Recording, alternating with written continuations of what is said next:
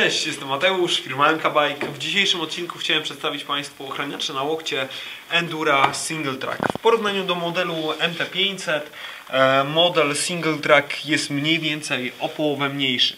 Panel główny ochraniacza wykonany został z wysokoelastycznej wkładki doskonale absorbującej uderzenia.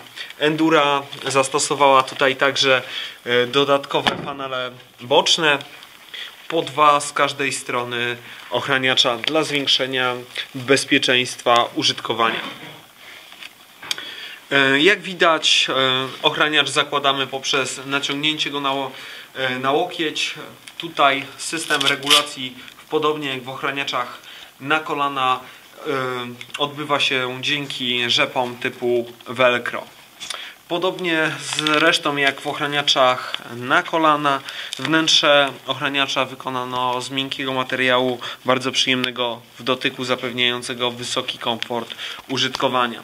Kolejnym atutem Oprócz niskiej wagi jest również perforowana powierzchnia od strony zewnętrznej, zapewniająca naprawdę doskonałą oddychalność. Polecam te ochraniacze zarówno osobom, które poszukują ochrony do jazdy na rowerze w terenie, czy także do jazdy na snowboardzie. Dużym atutem e, tych ochraniaczy jest także to, że z racji z e, niewielkich rozmiarów doskonale mieszczą się e, pod kurtkę